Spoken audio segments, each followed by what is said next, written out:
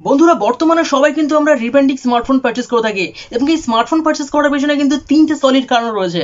Number one camera centric এবং gaming centric smartphone মানে হচ্ছে যে রিব্র্যান্ডিং ওয়ালা স্মার্টফোনগুলোকে লঞ্চ করা হয় বা রিব্র্যান্ডিং করে স্মার্টফোনগুলোকে লঞ্চ করা হয়, এই স্মার্টফোনগুলো কিন্তু অন্যান্য কোম্পানি থেকে কিন্তু একটু ডিফারেন্ট করার চেষ্টা করে।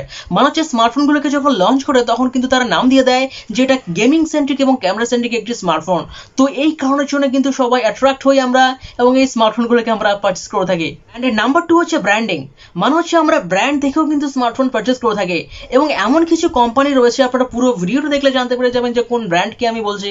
এবং তারা কিন্তু নিজেদেরকে একটি ক্যামেরা সেন্ট্রিক এবং গেমিং সেন্ট্রিক যে তারা স্মার্টফোন লঞ্চ করে, সেই হিসাবে কিন্তু তাদের, তারা নিজেদেরকে পরিচয় দিয়েছে। সো আমরা ব্র্যান্ডিং দেখেও কিন্তু আমরা স্মার্টফোন পারচেস করে থাকি। অ্যান্ড তিন নম্বর পয়েন্টে রয়েছে কিন্তু আমরা না জেনে কিন্তু স্মার্টফোন পারচেস করি।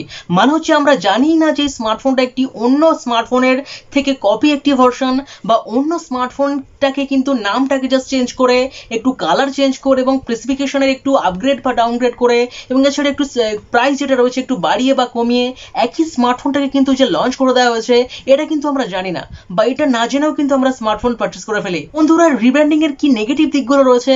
সেই সম্পর্কে কিন্তু পুরো ভিডিওটা জুড়ে বিস্তারিত আমি আলোচনা করব। এবং এছাড়া আপনারা যদি জানতে চান যে হোয়াট ইজ রিব্র্যান্ডিং মানে হচ্ছে রিব্র্যান্ডিং কি এবং এছাড়া রিব্র্যান্ডিং এর ফলে কি কি লাভ রয়েছে সেই সম্পর্কে, তাহলে কিন্তু ভিডিওর লিঙ্ক আমি ডেসক্রিপশন বক্স এবং আই বাটন দুটো জায়গায় আমি দিয়ে দেবো।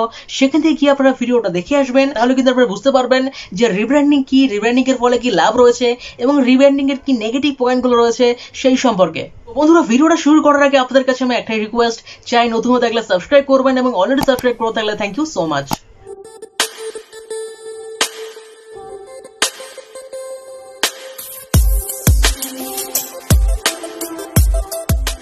hi guys আমি Rakesh you are watching tech Babu so এই স্মার্টফোনগুলোকে যে তুলে তুলে রিব্র্যান্ডিং করা হচ্ছে। এর কিন্তু কিছু মেজর প্রবলেম রয়েছে। এবং সব থেকে এফেক্টিভ যে পয়েন্ট রয়েছে, সেটা কিন্তু হচ্ছে ইনোভেশন মানে হচ্ছে এই স্মার্টফোনগুলোকে যে রিব্র্যান্ডিং করা হচ্ছে, এর ফলে কিন্তু আমরা ইনোভেশনকে হারিয়ে ফেলছি। মানে হচ্ছে আমরা স্মার্টফোনের মধ্যে কিন্তু নতুনত্ব কিছু দেখতে পাচ্ছি না। এবং এছাড়া যে টেকনোলজি নতুন নতুন যে টেকনোলজি বা নতুন নতুন যে ফিচার্স তার জন্য আমরা এক্সপেক্ট করে থাকি, আমরা যেহেতু প্রাইস পে করছি, তার ফলে আমরা স্মার্টফোন পারচেস করতে পারছি। তো তার ফলে তার জন্য কিন্তু আমরা নতুন নতুন টেকনোলজি এই সমস্ত কিছু কিন্তু আমরা এক্সপেক্ট করে থাকি, তো সেই সমস্ত কিন্তু আস্তে আস্তে যে ইনোভেশন সেটা কিন্তু নষ্ট হয়ে যাচ্ছে এই রিব্র্যান্ডিং এর ফলে। তো এক কথা বলাই যেতেই পারে, এই রিব্র্যান্ডিং এর ফলে কিন্তু আমরা যে ইনোভেশন বা নতুনত্ব, সেটাও কিন্তু আমরা হারিয়ে ফেলছি। এছাড়া একটা স্মার্টফোনকেই কিন্তু আলাদা আলাদা নামে লঞ্চ করা হচ্ছে। মানে হচ্ছে যে স্মার্টফোনটাকে আমরা রিয়েলমি নাজো নামে ইন্ডিয়াতে দেখতে পেয়ে গেছিলাম। সেই স্মার্টফোনটাই কিন্তু বাংলাদেশে লঞ্চ হয়েছে কি নামে? রিয়েলমি সিক্স আই নামে। এবং এছাড়া আমরা রেডমি নোট সিরিজের স্মার্টফোন দিকে যদি আমরা চলে যাই, তাহলে কিন্তু এই স্মার্টফোনটা কিন্তু চার পাঁচটা নামে লঞ্চ করা হয়েছে।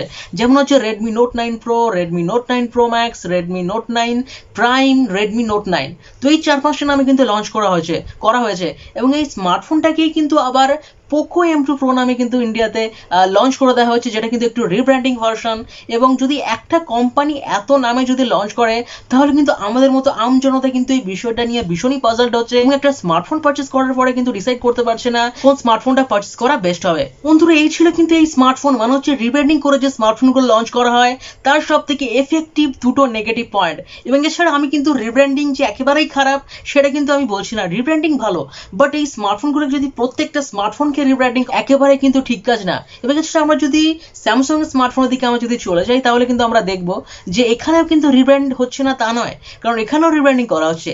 এ সিরিজ সেটটা এম সিরিজ এম সিরিজ সেটটা কিন্তু এ সিরিজ এরকম ভাবে করা হয় বাট প্রত্যেকটা স্মার্টফোন কিন্তু স্যামসাং রিব্র্যান্ড করে না। যেমন হচ্ছে পোকো রিয়েলমি রেডমি এরা কিন্তু স্মার্টফোনগুলোকে যে রিব্র্যান্ডিং করে, সেটা কিন্তু আমরা সবাই জানি। এবং তারা কিন্তু বেশিরভাগ স্মার্টফোনকে কিন্তু তুলে তুলে রিব্র্যান্ড করছে। এবং এছাড়া একটা সিরিজের মধ্যে কিন্তু যে স্মার্টফোনগুলো রয়েছে তারা কিন্তু প্রচুর স্মার্টফোন লঞ্চ করে ফেলছে।